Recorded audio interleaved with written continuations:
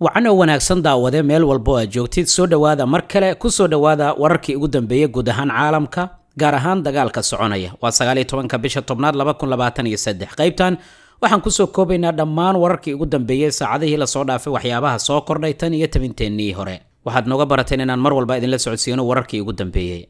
maxaa soo kordhay saacadihii la soo dhaafay? Waa maxay kulanka baarlamaanka masar ay yeelanayaan natiijo intee leeg ayaa ka soo bixi karaysa. Miyay dowladda masar mar kale dhiig soo gashay? Ra'iisul wasaaraha dowladda britain sacuudiga ayuu ka degay. Sawir micno badan samaynaya. Macluumaadyo kale oo muhiim ah ayaa qaybtan ku jira. Soo dhowaada mar kale ka mid noqo saaxiibadeenna. Aad baad u mahadsan tahay wargelin muhiim ah. Ma doonaysaa waalidkaa oo dhintay ama sariir saaran loo cumraysto? Culimo ku sugan maka almukarama ayaa hawsha kuu qabanaya. Inta lagu guda jiro gudashada acmaasha cumrada ee waalidkaada waxaa laguu soo dirayaa muuqaallo muujinaya siday wax u socdaan haddii aad doonaysa macluumaadyo kale la xidhiir telefoonka shaashadda kaaga muuqdo mahadsanid marka hore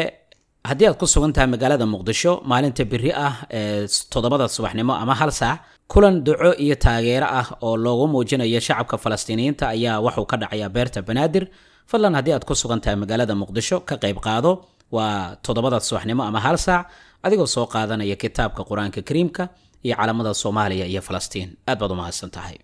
haddii aan ku hormarno wararka ka baxsan arrinta dagaalka madaxweyne valadimir putin waxa uu sheegay in maraakiibta dagaal ee dowladda maraykanka ee taageeraya israa'iil kuna sugan biyaha mediteraneanka iyo dhammaan diyaaradaha dagaal ee maraykanka ee ku sugan agagaarka biyaha badda madow inay noqon doonaan bartilmaameed una noqon doonaan gantaalka lagu magacaabo kinsaal oo ruushka uu leeyahay. Haddii ay sameeyaan xadgudub ka dhana dowladda ruushka. Waa fariin ka hortag iyo hanjabaad aad u xoogan oo ruushka ka imaanaysa kuna wajahan dhanka iyo maraykanka maantana wasaaradda gaashaandhigga ee dowladda ruushka ayaa sheegtay in diyaaradahooda dagaalka ay ka hortageen oo fariimo ay u direen diyaaradaha dagaalka ee dowladda britain oo la sheegay inay ku soo dhowaadeen gelitaanka hawada dalka ruushka ee dhinaca biyaha badda madow sidaasi waxaa baahisay wakaaladda wararka ee rai la yidhaahdo ee dalka ruushka. Lama sheegin wax khasaare ah balse diyaaradaha ingiriiska ayaa la sheegay inay dib ay kaga laabteen xadka ruushka ee dhinaca biyaha badda madow markii iska caabin ay la kulmeen. Ruushka sidaynu ognahay muddooyinkii ugu dambeeyey waxaa looga mashquulay dagaalka israa'iil inkastoo maraykanka ingiriiska ay yihiin labada dowladood ee garab istaag xoogan u muujinaya maamulka israa'iil oo madaxweyne joe biden iyo ra-iisul wasaare riishi sunaag labaduba talaafib ayay tageen iyagoo xabadka garaacanaya ayayna yidhaahdeen waan ku garab taagannahay hore u soco ra-iisul wasaaraha dowladda britain ayaa waxa uu tegay magaalada riyaad ee caasimadda dalka sacuudiga wuxuu halkaas uu kula kulmayaa mas-uuliyiinta dowladda boqortooyada sacuudiga laakiin sawirkan ayaa macno badan bixiyey maadaama madaxdii sacuudiyaanka ee ra'iisul wasaaraha soo dhoweeyey ay u muuqanayaan in ay ku faraxsan yihiin in riishi sunaag uu tago dalka sacuudiga. Waxaase uu socdaal kaga horreeyey uu ku tegay magaalada talaafiib isaga oo yidhi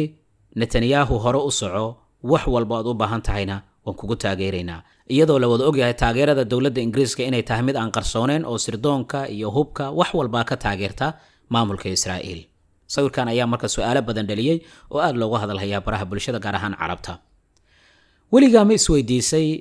waxa aad ka baqanayso in ay noqdaan mar un inaan la aqoonsanin meydkaada haddii adig iyo qoyskaada oo idil duqayn la idinku dilo oo weliba khasaaruhu aad u bato. Arrintan waxay ka dhacday mar kale gudaha falastiin gaar ahaan waxay ku dhacday carruur aad u tiro badan oo laga soo barakiciyo guryahooda oo markii horeba deegaansaday cisbitaalka al-shifa medical lagu magacaabo oo ahaa goobtii ama cisbitaalkii israa'iiliyiinta ay u digeen cisbitaalkan waxaa la sheegay hadda inay ku go'doonsan yihiin carruur aad u tiro badan oo gacmahooda ku qorta magacooda si loo garto maadaama waalidkood la sheegay inay duqaynta ku dhinteen. Israa'iil cabsi daraaddeed waxay ku dhawaaqday inay xireen ama ay daadgureeyeen diblomaasiyiintoodii safaarado shan dowladood ah sida masar jordan baxrayn morocco iyo turkmenistan. Wararka qaar xitaa waxay ku darayaan in turkiga iyo meelo kale diblomaasiyiintooda ee laga daadgureeyey sidoo kalena lagu wargeliyey digniin halis ah ilaa iyo labaatan safaaradood oo caalamka ku yaala maanta gelinkii dambe waxaa aad u soo kordhay duqeymaha ay ciidamada xisbullah ay kasoo tuurayaan dhanka koonfureed ee dalka lubnaan iyo sidoo kale dhinaca galbeed oo aaga kale oo cusub ah waxaana lagu waramayaa in reer galbeedka ay siiyeen digniin kama dambeys muwaadiniintooda ku sugan dalka lubnaan si gaar ahaaneed waxaan arkayay digniinta dowladda britain oo shacabka ingiriiska lagu leeyahay hadda inta ay furan yihiin duulimaadyada caadiga ah kasoo wada baxa gudaha dalka lubnaan golaha wakiilada ee dowladda masar waxay yeelan doonaan kulan deg deg ah kaas oo la filayo inay u ogolaadaan madaxweyne cabdifataax al siisi dhowr arrimood waa tan koowaada ilaalinta amniga qaranka ee dowladda masar qaadashada dhammaan go'aamada lagama maarmaanka ah ee xuduudaha gaar ahaan jihada waqooyi bari iyo la tacaalidda falastiiniyiinta qalalaasaha marka la eego sii kordhaya ee joogtada ah iyo dagaalka israa'iil iyo gardarrada marinka khaza ka socota ayaa sidoo kale la filayaa inay xildhibaanada baarlamaanka ay awood buuxda madaxweynaha gacanta u geliyaan xildhibaan cabdalla laashin waxa uu ka mid yahay baarlamaanka dowladda masar waxuu carabka ku adkeeyey in dowladda masar ay tahay dal weyn oo madax bannaan lehna ciidan qaran oo awood leh awoodna u leh inay sugaan amniga qaranka ee dalka masar intaa waxaan filayaa inaad ila fahanteen macnawiyan. Wuxuu xildhibaanka ula jeedo oo ah waxaynu nahay dal weyn oo madax bannaan oo wax walba loo meeri karin. Waynu haysanaa ciidan awood leh haddana iska kiindhicin karaya.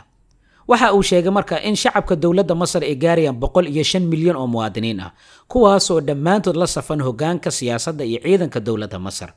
Haddii aan sii fasirno waxay la micno tahay. Dad ahaan waan idinka badannahay haddana dhammaan dadkeenna hogaankeena ayay la safan yihiin oo go'aan kasta ayaan qaadan karnaa. Waxauu yidhi marka dhammaan shacabku waxay ka midaysan yihiin ilaalinta amniga iyo xasiloonida dowladda masar.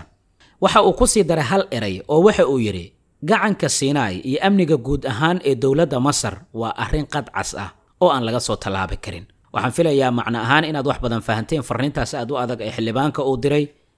oo ku wajahnay dalalka reer galbeedka iyo kuwa cadaadiska saaraya dowladda masar caawa xamaas dhowr gantaal ayay ku garaaceen koonfurta magaalada talaabiib ee caasimadda israa'iil seeriga digniinta ayaa laga maqlayaa magaalooyin dhaca bartamaha israa'iil sida magaalada lagu magacaabo rishon hoolon batyam iyo sidoo kale magaalada yevne dhammaantood waa kuwo cusub oo seeriga digniinta caawa laga daaray koonfurta magaalada ashdood ayaa sidoo kale la sheegay in seeriga digniinta laga maqlayo hogaamiyihii hore ee kooxda xamaas khaalid mashcal ayaa waxa uu sheegay in weerarkii dhacay toddobadii bishan aynu ku guda jirno ee ka dhanka israa'iil uu ahaa mid qoto dheer oo weliba si weyn looga soo fakeray xamaasna ay si buuxda ugu diyaargaroobeen cawaaqib kasta oo ka dhalan kara. Micnaheeduna waxay tahay in xitaa weerar dhanka dhulka haddii ay soo qaadaan israa'iiliyiinta inay diyaar u yihiin wax walbaana laga fakeray afar iyo labaatankii saaci la soo dhaafay saddex boqol lixdan iyo toddoba ruux ayay maraysaa muwaadiniinta falastiiniyiinta ee ku shihiday duqeymihii ugu dambeeyey israa'iil halka ay ku garaaceen siddeetan iyo kow ka mid a waxaa la sheegay inay ku dhinteen koonfurta marinka khaza halka kuwo kalena ay ku dhinteen magaalooyin kale sidaa uu baahiyey xafiiska warfaafinta ee magaalada khaza sidoo kale waxaa lagu warramaya dadka dhintay inuu qayb ka ahaa taliyihii ciidamada amniga ee marinka khaza iyo qoyskiisa oo ku dhintay duqeyn israa'iil ay ka fulisay marinka khaza waxaa wararka soo baxaya ay sheegayaan in ninkan oo lagu magacaabo jihayd muxaysin lala dilay isaga iyo qoyskiisa xilli gurigooda ay joogeen maadaama duqeyn ay ku dhacday guutada alqasam oo ka tirsan garabka militari ee xamaas waxa ay sheegeen inay caawa duqeeyeen magaalada lagu magacaabo askalaan ama ashkelon magaalada esdred magaalada zikim iyo magaalooyin kale dhammaantoodna waxay sheegeen in gantaaladooda ay ku dhaceen khasaarahana lama hayo hogaanka cuba waxa ay maanta soo saareen war kale oo cajiiba taageerada xukuumadda washington ee israa'iil iyo isla xisaabtan la-aanta ayaa dhalisay in sidaan uu usii socdo xasuuqa weyn oo ay geysanayaan israa'iiliyiinta sidaasi waxaa yidhi wasiirka arrimaha dibadda ee dowladda cuuba waxaana uu ku baaqay in lala xisaabtamo cid kasta oo dembiyo dagaal ka geysata marinka khaza afhayeenka ciidanka israa'iil dhankiisa warbaahinta ayuu la hadlay waxa uu sheegay inaysan jirin wax gargaar ah oo loo ogolaaday inuu gaaro marinka khaza waxaana intaas uu ku daray marka go-aanka ay gaaraan hogaanka siyaasadda ayaan ku dhawaaqi doonaa natiijo kasta hadalkan waxa uu jeediyey kadib markii uu la hadlay telefishinka aljaziira wasiirka arrimaha dibadda ee cuuba haddii aan dib hadalkiisii ugu laabanno bruno rodriguez ayaa la yidhaahdaa wuxuu sheegay in maraykanka uu diidmada qayaxan duldhigay afartan iyo lix qaraar oo golaha ammaanka ee qaramada midoobay la horgeeyey kuwaasoo dhammaan la xidhiira xaaladda bariga dhexe oo ay ku jiraan kuwa la xidhiira arrinta falastiiniyiinta waxaan la soconaa walaaca aada u weyn ee caalamka ka jira ee ka nacsan dhibaatada xooggan ee argagax leh ee ka soconaysa bariga dhexe. Sidaas ayuu yidhi wasiirka arrimaha dibadda ee dowladda cuuba waxaana uu sheegay in xaaladaha bini-aadanimo ee halkaasi ka jira aysan ahayn mid la daawan karo oo keliya qaramada midoobay waxay dowladda qatar ka codsatay in ay qayb ka noqoto dhexdhexaadinta la doonayo in maxaabiista falastiini gacanta ay ku hayaan la soo daayo. Ilaa iyo konton ka mid a maxaabiistaas ayaana saacadaha soo socda la filayaa in la sii daayo sida ay baahiyeen warbaahinta israa'iil. Inkastoo xamaas aysan arrintaa ka hadlin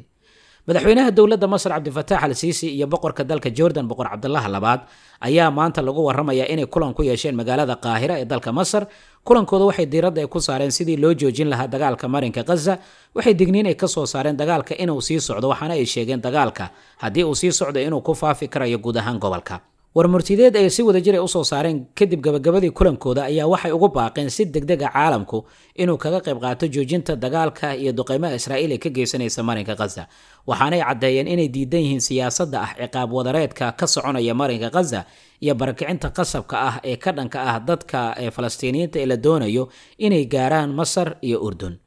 Wasaaradda arrimaha dibadda ee dowladda maraykanka qoraal ayaa goordhow ka soo baxay waxaa lagu yidhi kubaaqidda xabajoojin ma ahan qayb ka mid a siyaasadeenna iminka. Micnaheeduna waxay tahay inay u jawaabayaan hadalkii ka soo baxay madaxweynaha dowladda masar iyo boqorka dalka urdun. Waa isku tashada oo cad. Wasaaradda gaashaandhigga ee dowladda maraykanka waxaa sidoo kale goordhow ay shaacisay inay qorsheynayaan inay kumanaan hubka altaleriga ay u soo diraan israa'iiliyiinta si ay isu difaacaan. Wargeyska lagu magacaabo plomberg wuxuu baahiyey in israa'iil gabaabsi uu ka sii noqonayo nidaam difaaceedka iron dom loo yaqaano maadaama laga baqayo xisbullah haddii dagaalka ay ku soo biirto in wax walba ay isbedeli karayaan. Wargeeska plomberg ayaa daabacay macluumaadkaas oo waxa uu taagan yahay hadda gabaabsi waxaa sii maraya nidaam difaaceedka iron dom loo yaqaano. Sidaa daraaddeed waxaa goordhow hadlay dowladda maraykanka oo waxay tiri waxaynu u diri doonaa laba ka mid a nidaam difaaceedka iron dom loo yaqaano gudaha israa'iil. Waxaana wargeyska uu leeyahay wasaaradda gaashaandhigga ee dowladda maraykanka ayaa qorsheynaysa nidaam difaaceedkaas oo markii horeba israa'iil laga soo iibsaday in dib loogu celiyo iyadaoo lacag la'aan ah maraykanka muwaadiniintiisa ayuu digniin u diray waxaana uu yidhi meel kastoo dunida ka joogtaan waa inaad feejignaan dheeraad aad gashaan. Sababtu waxay tahay suuragalnimada weerar ka dhana maraykanka iyo danaha maraykanka ee dhanka gobolka iyo xaaladaha oo colaada ah oo aad u sii kordhaya. Agaasinkii hore ee c i eda dalka maraykanka sidoo kalena qayb ka ahaa generaaladii maraykanka uu geeyey ciraaq iyo afghanistan ayaa wuxuu sheegay in haddii ciidamada israa'iil ay isku dayaan inay weerar dhanka dhulka khaze ku qaadaan in weerarkaas uu socon doono muddo sannado ah uuna noqonayo dagaal dhiig badan uu ku daato halkaasina fariin diblomaasiyadeed iyo sidoo kale macluumaad sirdoon ayaa kaga bidhaami karaya israa'iiliyiinta isagoo la hadlayay wargeeska the politico ayuu sidaasi sheegay dadkii ugu dambeeyey ku geeriyooday ee duqaymaha waxaa qaybka ilaa iyo lix weriye oo la sheegay inay ku dhinteen gantaallo ku dhacay dhowr magaalo oo ka tirsan marinka khaza sidoo kale xaaladdu aad bay u cakiran tahay. Wasiirka arrimaha dibadda ee dowladda ruushka goordho ayuu warbaahinta la hadlay oo waxa uu yidhi in la yidhaahdo israa'iil waxay xaq u leedahay. Nafsadeeda inay difaacdo lama micno ah buu yidhi in loo siiyo sharciyad inay geysato xasuuq iyo aargoosi wadareed ana loo meeldayin goordhow gantaalle ku dhacay magaalada lagu magacaabo dir albalax waxaa la sheegay ilaa iyo toban ruux oo rayda inay ku dhinteen. Wararkaas ay waqti xadirkan ugu waaweyn dagaalka mar walba waxyaabaha ka soo kordha waan kula socodsiin doonaa insha allah